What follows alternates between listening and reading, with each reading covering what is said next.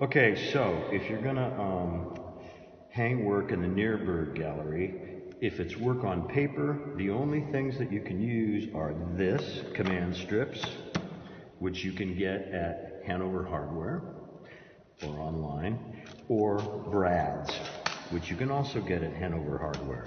Um, brads are just little nails essentially, and they're small and you can buy some that have heads on them so that if you want to keep the paper closer to the wall, you can. Never pound the brad all the way into the wall because you can't get it out then. You're digging around at the wall. Um, so always make sure that the brad sticks out enough so that you can grab it with a pair of pliers. Long wall on the Nearburg Gallery has plywood behind it, so you can screw into it, nail into it. The front walls, the smaller Nearburg Gallery that looks out onto the Maffei Plaza, those do not have plywood. So you, it's pretty impossible to hang something that's really heavy on a screw because there's the screw can't anchor into any plywood there. So you have to use. I just wouldn't do it. Just keep it, keep to like work on paper and like work. So when you go to pull out a screw is easy. You use a screw gun or a screwdriver, pull it out. Um, the way not to remove a nail is to just go in there with the hammer like this and then force it out. So you see what happens. See how you, this is all ripped? The way to remove a nail is, let's do this one. Put a piece of wood up here, or I use my spackling knife, and you just start to, you pull it out slightly like this. So what you're essentially doing is pulling it out straight, like this. So this is what you end up with, a nice kind of clean hole. But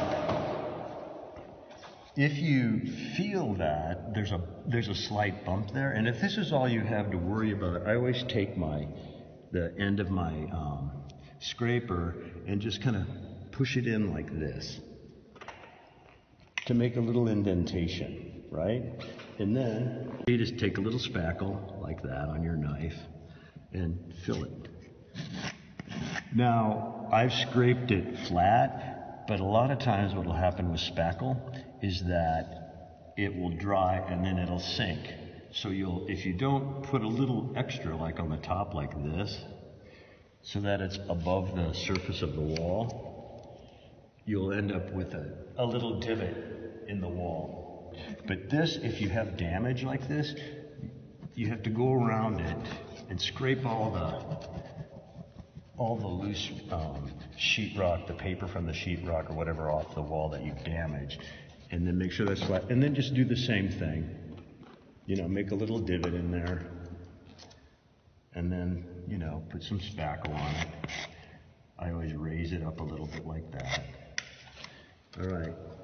And then, depending on the humidity, you know, if there's air conditioning, this spackle, depending if it's if it's vinyl or if it's non-vinyl, it takes a few hours to dry.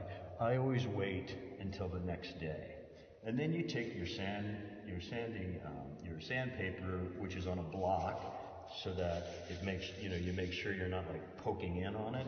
This makes an even kind of uh, surface when you sand off the top of this. And then you just go in and like, I just do it lightly, like around like this. And when you think you've got it, you know, you feel it, just to make sure that's still not uh, smooth. It's still a little raised. So now it's perfectly smooth, and it's going to look like this when you paint it.